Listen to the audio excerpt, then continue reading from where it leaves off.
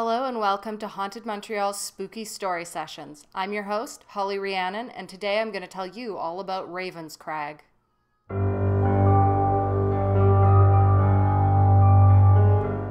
Welcome, welcome, spooky specimens. We are back from break and ready to share new spooky tales with all of you. Did you miss us?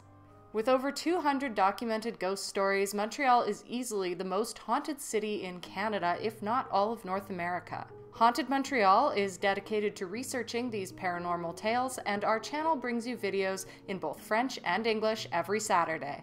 Today's episode examines Ravenscrag, one of the world's most frightening house of horrors. Perched on the slopes of Mount Royal, it is the location of deranged brainwashing experiments during the Cold War and may host a secret child cemetery.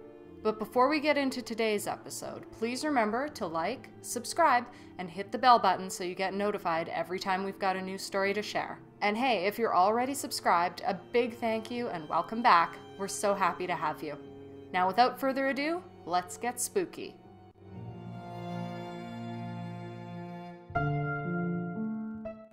Ravenscrag is a prominent Pine Avenue mansion that is currently used by McGill's Psychiatry Department.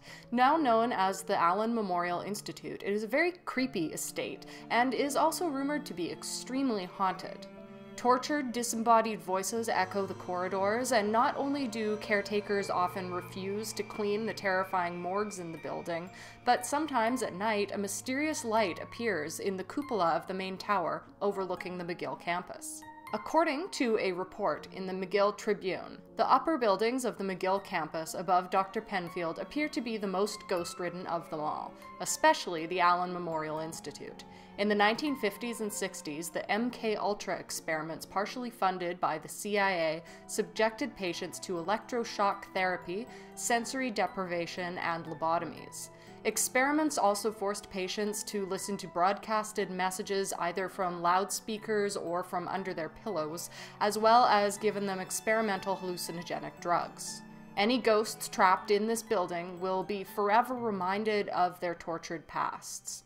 There are also rumors that a secret haunted children's cemetery exists behind the property just behind the stone wall.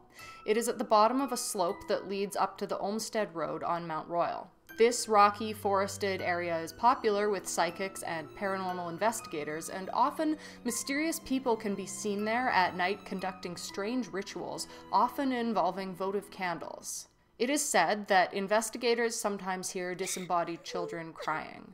Survivors of horrific brainwashing experiments claim that child victims were secretly buried at this location out of sight of the public. Given the creepy rumors, mental health patients are often apprehensive about being treated at the Allan Memorial Institute, and for good reason given its deranged history. Ravenscrag was built in 1863 by Sir Hugh Allan. An extremely affluent banker and entrepreneur of Scottish origin, Allan used his political connections to obtain favorable contacts and subsidies for his enterprises and was known to exploit workers, including children, in his factories. In 1860, Sir Hugh Allan purchased 14 acres on the slopes of Mount Royal for $10,000 from the estate of the late Simon McTavish. Built in the style of an Italian Renaissance villa or palazzo, Ravenscrag consisted of 72 lavish rooms spread over five floors and decorated in the opulent Victorian fashion of the era. The mansion also featured an imposing tower with an observatory in the cupola, which Sir Hugh Allan used to monitor his ships with a telescope in the old port of Montreal. When built, Ravenscrag was also fitted with gas lighting and the most advanced plumbing and heating technology available at the time. It was the most lavish address in the city and hosted decadent parties for some of the most prestigious and wealthy of people, including members of the royal family. When Sir Hugh Allan died in 1882 while visiting his son in law in Edinburgh, he was one of the richest men in the world, with a fortune estimated to be between 8 and 12 million pounds. His son, Montagu, inherited the regal Ravenscrag mansion.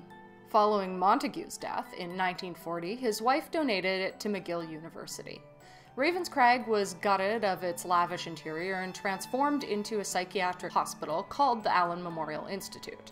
With funds from the Rockefeller Foundation, Dr. Ewen Cameron, the founder of McGill's psychiatric department, was appointed its director. In the early 1950s, during the first decade of the Cold War, the CIA believed it was crucial to learn how to brainwash people, after the apparent success of the Chinese during the Korean War. A handful of American POWs made inexplicable confessions while publicly praising communism and denouncing the United States. Starting in 1950, the CIA reached out to psychologists, physicians, and toxicologists and embarked on several mind control projects such as Project Bluebird, Project Artichoke, and Project MK Ultra. In 1957, the CIA managed to recruit Dr. Ewen Cameron, who was trying to discover whether doctors could erase a person's mind and instill new patterns of behavior. The purpose of his brainwashing experiment was to discover techniques that could destroy a person's time space continuum in order to reprogram them. Dr. Cameron and his colleague Dr. Hebb started the experiment with 22 paid student volunteers. Each student was placed on a bed in a lighted cubicle and made to wear opaque goggles, cardboard handcuffs, and lie with their head embedded into a U shaped foam pillow that limited audio stimulation. Most subjects quit after a few hours, complaining that being in the apparatus felt like a form of torture. Most also had experienced hallucinations similar to those had on drugs like LSD. Dr. Hebb concluded that even short term sensory deprivation produced a devastating impact on the human psyche, noting that the subject's very identity began to disintegrate. Realizing the potential, Dr. Cameron moved the research trial to phase two, which would require subjects who could not leave, as the student volunteers had done.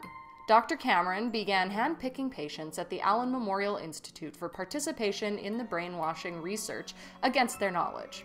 For subjects, Dr. Cameron chose people suffering from minor mental and emotional problems such as anxiety disorders or postpartum depression. Dr. Cameron developed and tested three major psychiatric procedures on the mental patients at the Allan Memorial. He started with the technique of depatterning, his theory that people's pattern of behavior could be erased and replaced with others. In an attempt to erase their memories and personality, Dr. Cameron subjected them to brutal electroshock sessions that were well beyond the norm in psychiatric hospitals in terms of frequency, duration, and voltage.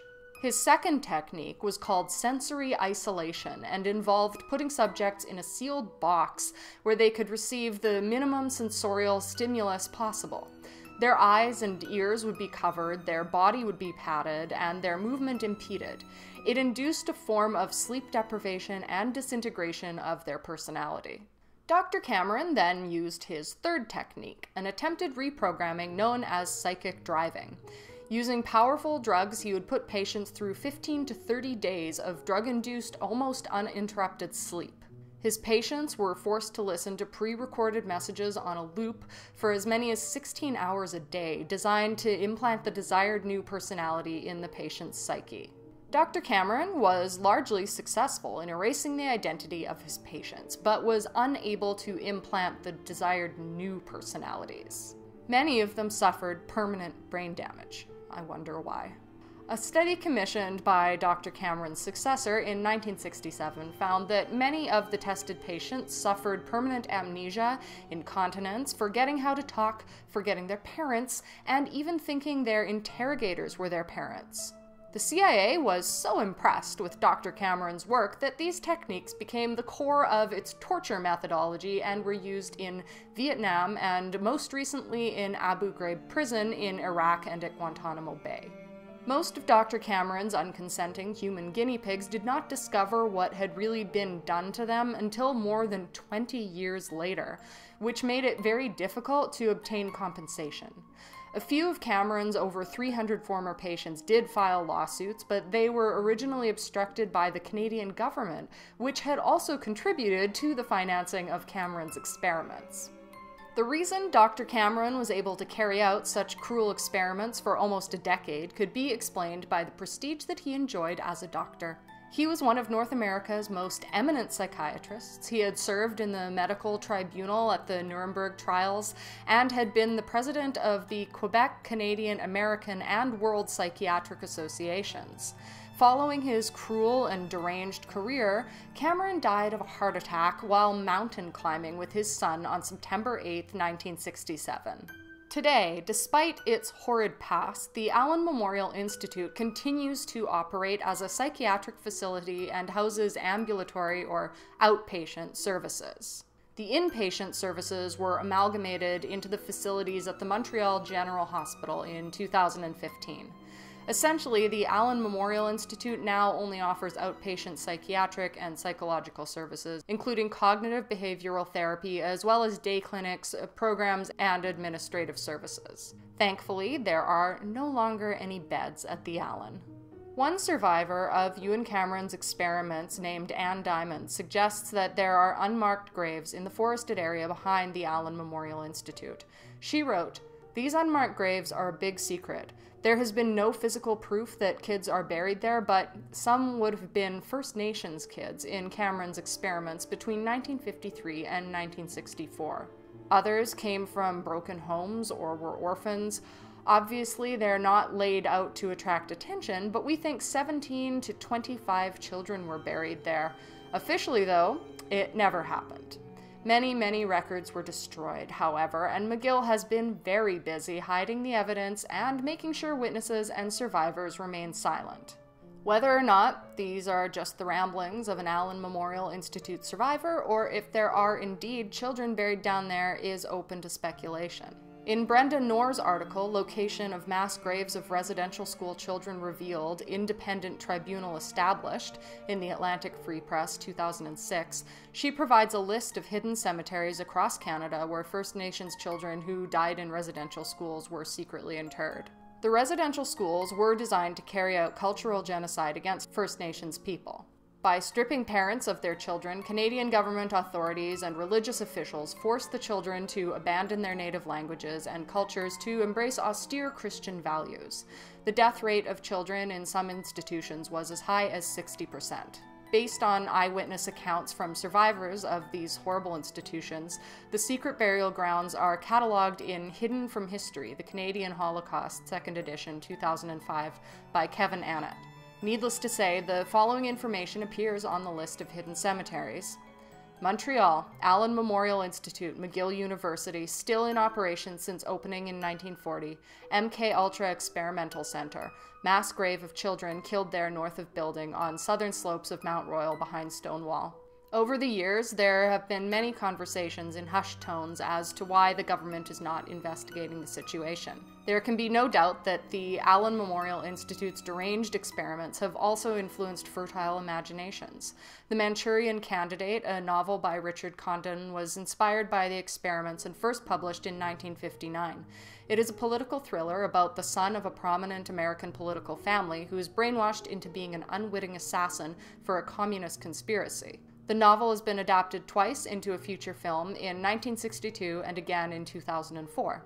The 1962 version is faithful to the book and stars crooner Frank Sinatra. To this day, the topic is still discussed in news and on social media. This is what we'd absolutely call an active story. In fact, it may be as active as it ever has been now. As of November 2022, McGill University said it would begin discussions with an Indigenous group that had raised concerns about unmarked graves after a court ruled that excavation work on a university expansion project would cause irreparable harm. Justice Gregory Moore has since ordered a halt to any excavation at the site until discussions can be held to develop an archaeological plan to search for graves. Rightfully so. Whether or not there is actually a hidden cemetery on the mountain site is still unknown at this time. Only one thing is certain. Until someone goes down there with a shovel or a spade and starts digging, this is one mystery that will remain unsolved. Are you a Montreal resident or perhaps a tourist who's had a strange experience at or around the Allan Institute? As always, we want to hear your theories and stories regarding what's going on here.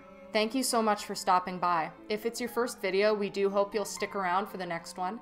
We post videos in both French and English every Saturday. If you'd like to learn more about the organization founded by the talented Donovan King, it's all listed in the description down below, along with links to purchase tickets to in person haunted storytelling tours. Remember to like, subscribe, and leave a comment. We'll have a new video out for you next Saturday, but until then, stay spooky.